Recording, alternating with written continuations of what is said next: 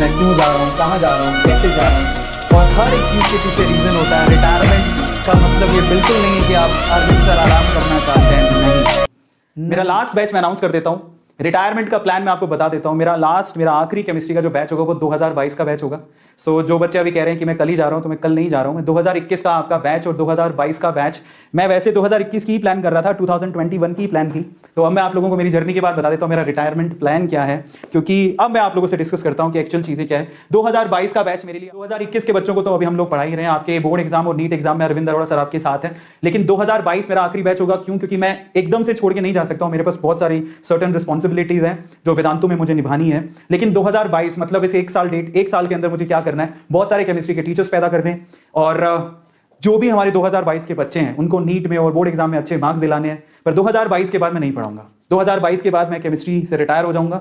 और उसके पीछे का रीजन क्या है, मैं आपको बताता हूँ। फ़र्स्ट ऑफ़ ऑल तो रीजन है, एक ऐसा एक ऐसा सपना देखा मैंने। मैं काफ़ी बार अपने इंटरव्यूज़ में भी बोला हूँ कि एक ऐसा सपना देखा जिसमें मैं एक डेढ़ साल से काम कर रहा हूँ।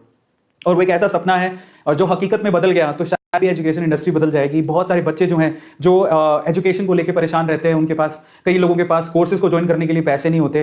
मैंने ऐसे बहुत सारे लोग देखे हैं, जब हमने स्कॉलरशिप शुरू किया था तो इसी के बिहाफ पे शुरू किया था। और ए टू स्कॉलरशिप स्टार्ट करने के बाद बहुत सारे लोगों से जब गूगल फॉर्म भरवाते थे, और पर्सनली जब मैं गूगल फॉर्म में पढ़ता था कि उन्हें ए टू स्कॉलरशिप की क्यों ज़रूरत है तो इतने सारे बच्चे, इतने सारे बच्चे, अगर मैं आपको ए टू स्कॉलरशिप के डेटा बताऊँ तो ऑलमोस्ट एक लाख से ज़्यादा फॉर्म आए थे हमारे पास। जब उनके पढ़ते हैं ना कि A two A two scholarship उन्हें क्यों चाहिए, उनके रीजंस पढ़ के कभी कभार तो रोना आ जाता था। तो मुझे लगता था कि यार, सौ बच्चों को देने से भी क्या होगा? मैंने ऐसा कमिट किया था कि मैं सौ बच्चों को स्कॉलरशिप दूँगा। तो उसको सौ बच्चों को देने से भी क्या होगा?